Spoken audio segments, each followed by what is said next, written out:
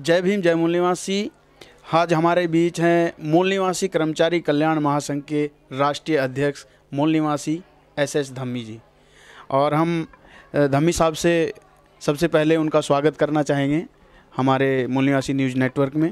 धन्यवाद। सबसे पहले हम यह जानना चाहते हैं कि मूल निवासी कर्मचारी कल्याण महासंघ आखिर क्या है?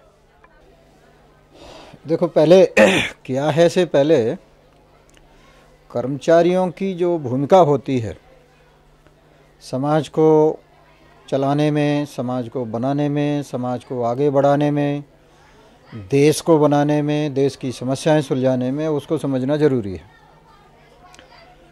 क्योंकि कोई भी कर्मचारियों की जो संस्था है, उसको तब तक समझना मुश्किल है जब तक कर्मचारियों का रोल समझ में ना आए, उनकी भूमिका समझ में ना आए। तो कर्मचारी जो होता है वो हमारी जो सरकारें होती हैं, उनका आधार होता है वो। जैसे सरकारों का काम है नीतियाँ बनाना और कानून बनाना, फिर उनको लागू करना। तो सरकार का मतलब होता है जो हमारे जनप्रतिनिधि होते हैं, जिनको हम एम एल बोलते हैं। लोकल अथॉरिटी हैं तो उनमें हम काउंसलर बोलेंगे नगर निगम हैं, वगैरह वगैरह। तो ये जो नीतियाँ बनाते हैं, उनको लागू करने का जो काम है, वो कर्मचारियों से होता है। कर्मचारी समाज में रहता है कर्मचारी दफ्तर में भी रहता है। तो उसको समाज की भी जानकारी रहती है, दफ्तर की भी जानकारी रहती है। सरकार क्या करने जा रही है, क्यों करने जा रही है, कैसे करना चाहती है, उसका लक्ष्य क्या है, कैसी नीतियाँ चाहती है वो सारी जानकारी कर्मचारी जो वर्ग होता है, उसको रहती है। और उसकी जो जानकारी है, समाज से जो निकलती है, वो कर्मचारी वर्ग इकट्ठी करता है। तो वो सारी जानकारी इकट्ठी करके उसका विश्लेषण करना, फिर उसका विश्लेषण करके वो समाज की समस्या कैसे सुलझा सकते हैं, वो सारे के सुझाव जो है वो कर्मचारियों को देने होते हैं। जो भी आंकड़े हैं वो सब के सब उनका विश्लेषण करना, उनको इकट्ठा करना, फिर उनके आधार पर समस्या को पहचानना, ये सब सारा काम जो है कर्मचारी वर्ग का होता है। तो कर्मचारी वर्ग की जो भूमिका है, नीतियाँ बनवाना, कानून बनवाना, और उसके बाद उनको लागू करवाना। मुख्य तौर पे जो कर्मचारी है, जो कर्मचारी वर्ग है, जैसे हम आज की तारीख में केंद्र सरकार में मल्टीटास्क जैसे जो कर्मचारी होता है एमटीएस जिसको हम बोलते हैं मल्टीटास्क स्टाफ जो पहले चपरासी से शुरू होता था, उससे लेकर के जो सबसे बड़ा कर्मचारी होता है, वो उसको कैबिनेट सचिव बोलते हैं। तो वो जो मंत्रिमंडल सचिव जिसको तो वहाँ तक जितना भी ये कर्मचारी वर्ग हैं, इसकी ये ज़िम्मेदारी होती है कि वो सारे कानून और नीतियों को लोगों के हित के लिए, लोगों की समस्याएँ सुलझाने के लिए उनको लागू करे। और इसके लिए अपनी जो है, सबकी जिम्मेदारियाँ होती हैं, सबकी, सबका रोल परिभाषित होता है, सबकी भूमिका परिभाषित होती है। उसके हिसाब से हर किसी को अपने अपना जो है, वो योगदान देना होता है। अभी तक जो है, हमारे देश में जितने भी राष्ट्रीय स्तर पर कर्मचारी संगठन रहे हैं, वो बहुत ही सीमित लक्ष्य के साथ उन्होंने काम किया है। जो जनरल एसोसिएशंस होती हैं, जिनको हम सर्विस एसोसिएशंस बोलते हैं, वो अपनी आम जो समस्या होती है कर्मचारियों को, उसको लेकर काम करते हैं। जो दूसरी संस्थाएँ हैं, जैसे जात वाली संस्थाएँ हैं, कोई ये शेड्यूल कास्ट की होगी, कोई एसटी की होगी, कोई एस सी की होगी, कहीं ओबीसी की होगी, कहीं माइनॉरिटीज़ की होगी, कहीं क्षेत्रवादी मानसिकता से भी बनती हैं, दृष्टिकोण से बनती हैं। तो राज्यों में भी इसी तरीके से कर्मचारियों की जो संस्थाएँ होती हैं, वो राज्य में क्षेत्र के हिसाब से बनती हैं और वहाँ भी जो जाति समीकरण है, जो जातीय समूह है, उसके हिसाब से बनती हैं। लेकिन एक सार्वभौमिक जो मुद्दा है कर्मचारियों के भूमिका के अनुसार और उनकी जो आम समस्या है, उसमें सबसे ज़्यादा जो प्रभावित वर्ग होते हैं वो केवल न तो एससी होते हैं, न एसटी होते हैं, न ओबीसी होते हैं, न माइनॉरिटी होते हैं, ना ही कोई व्यक्ति की अलग समस्या होती है। वो ज़्यादातर जो समस्याग्रस्त जो वर्ग है कर्मचारियों का, वो वो वर्ग है जो समाज में भी सबसे ज़्यादा समस्याग्रस्त है। अब इस दृष्टिकोण से अभी तक हमारे पास कोई भी कर्मचारी संघ, कर्मचारी संगठन राष्ट्रीय स्तर पे नहीं है। अपना छोटे छोटे समूहों में है। एस सी का है तो उनको एक ही चिंता रहती है वो प्रमोशन में रिजर्वेशन का। प्रमोशन में रिजर्वेशन एक मुद्दा है, मगर वो खाली रिजर्वेशन का मुद्दा नहीं है। मगर संस्थाएँ बनी है प्रमोशन में रिजर्वेशन के हिसाब से।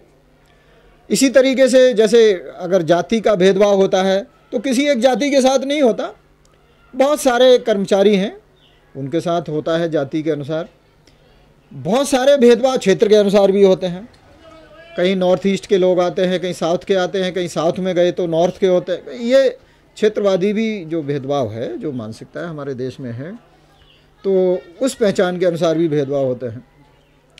इस व्यापक दृष्टिकोण से जितने भी भेदभाव के कारण हैं, उनको ध्यान में रखते हुए, उनको मिटाने के लिए, उनका समाधान करने के लिए और कर्मचारियों की जो भूमिका है, उसको ध्यान में रखते हुए एक संस्था की आवश्यकता थी।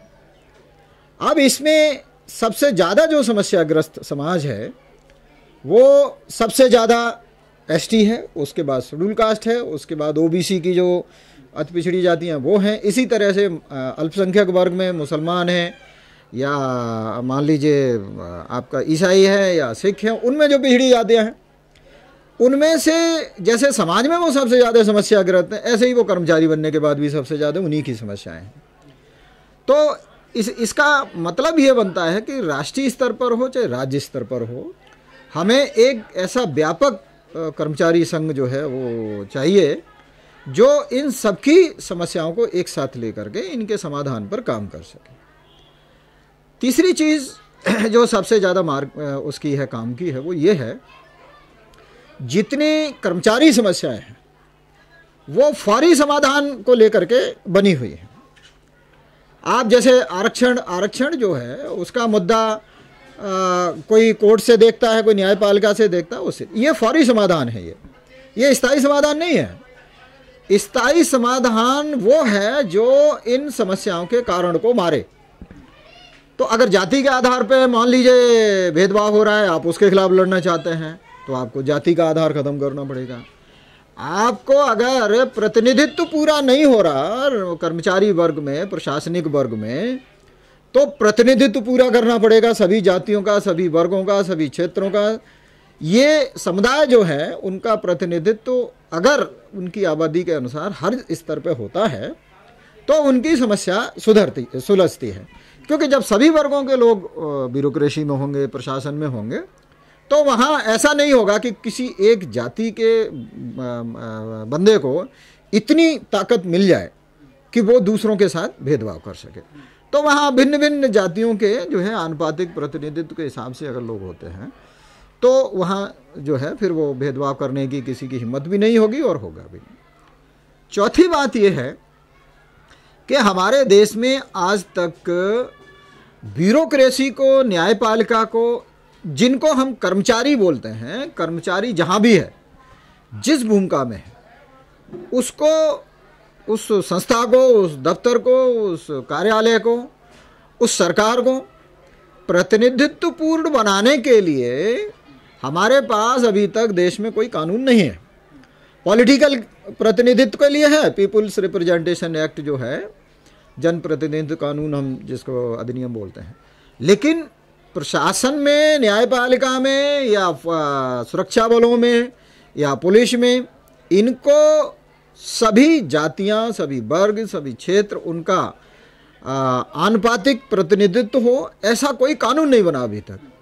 इस मुद्दे को लेकर के हमें पूरे देश में कर्मचारियों को तैयार करने की ज़रूरत है, और पांचवा जो बड़ा मुद्दा है वो ये है कि कर्मचारी अपना नौकरी मिलने के बाद, वो आए बेशक समाज के नाम पर।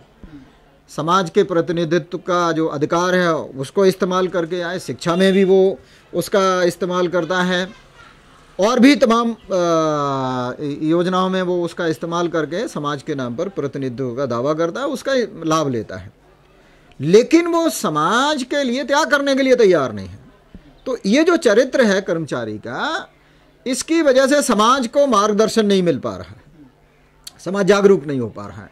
और कर्मचारी वो वर्ग है, जैसा मैंने शुरू में बताया, जिसको समाज का भी पता है, क्योंकि वो समाज से आया है, समाज के संपर्क में भी रहता है, कम ज़्यादा, और उसको सरकारी तंत्र का भी पता है, कानूनों का पता है, नीतियों का पता है, वहाँ बैठे हुए जो लोग हैं, उनके बारे में भी उसको पता है। तो वो नीतियाँ बनाना कानून बनाना उनको लागू करना उनका समाज में कितना लाभ जा रहा है कितना नहीं जा रहा है। अगर समाज सरकारी नीतियों का आ, सही तरीके से लाभ लोगों तक नहीं पहुँच रहा उसके कारण भी उसको पता होता है क्योंकि वो सारी जानकारी वहाँ इकट्ठी आती है। अगर केंद्र की सरकार है तो पूरे देश से इकट्ठी होती है राज्य की सरकार है सारे ज़िलों से इकट्ठी होती है और ज़िले में अगर वो कर्मचारी है तो सारे तहसीलों से सारे ब्लॉक से सारे गाँव से इकट्ठी होती है। तो हर स्तर पर उसको पूरी जानकारी रहती है। अगर वो समाज में यही सब जानकारी दे, उनको समझाए तो समाज का जो सोचने का नज़रिया है, जो दृष्टिकोण है, वो असलियत पे आधारित होगा। यानी समाज जो है, वो अभी जैसे कम जानकारी के कारण वो कुछ भी गलत सलत भावनाएँ बना लेता है, धारणाएँ बना लेता है, विचार बना लेता है, और उसको पता नहीं होता कि किस परिस्थिति में उसको क्या करना चाहिए। शिकायत करनी है तो कहाँ करे, कैसे करे? और जिसके पास शिकायत लेके ज़्यादा उस कर्मचारी का करेक्टर ऐसा होता है, वो उसको मानता ही नहीं है कि भाई हम इसकी खातिर जो है नौकरी में हैं। तो ये तमाम व्यापक एक नज़रिया लेकर के हमें एक राष्ट्रीय स्तर पर कर्मचारियों के लिए एक इसकी ज़रूरत महसूस हुई और इसलिए हमने ये महासंघ बनाया है।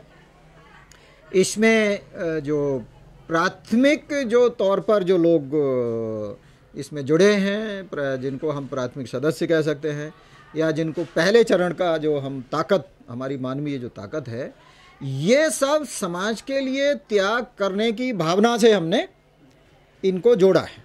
क्योंकि ये जो महासंघ है मूल निवासी कर्मचारी कल्याण महासंघ, इसका मुख्य जो सिद्धांत है, वो समाज के लिए त्याग करना है।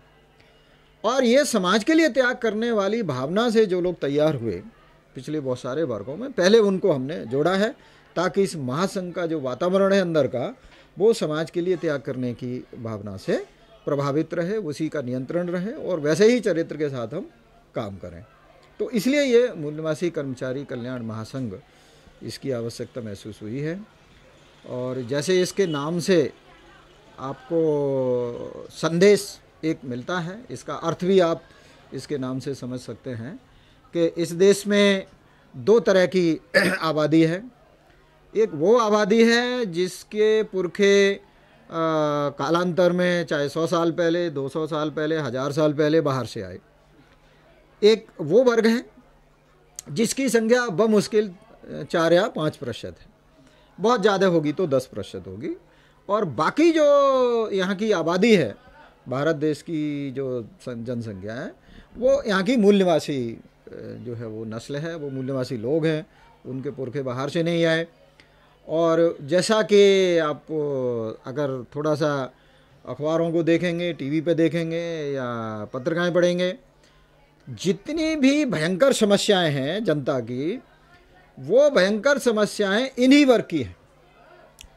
सारी समस्याएँ इनके खाते में तो इसलिए ये ज़रूरी है कि इस वर्ग के जो कर्मचारी हैं, उनको संगठित किया जाए और उनके अपने भी जो समस्याएँ उनके स्थायी समाधान के लिए काम किया जाए और जिस समाज से वो आते हैं, उस समाज के लिए भी उनको त्याग भावना में ला करके और समाज के लिए उनको उतारा जाए ताकि वो समाज को भी मार्गदर्शन करें, उनकी तकलीफ़ों को सुलझाने में मदद करें उनकी। तो इसलिए ये मूल निवासी कर्मचारी कल्याण महासंघ जो है वो नाम इस हिसाब से इसका वो बनाया गया।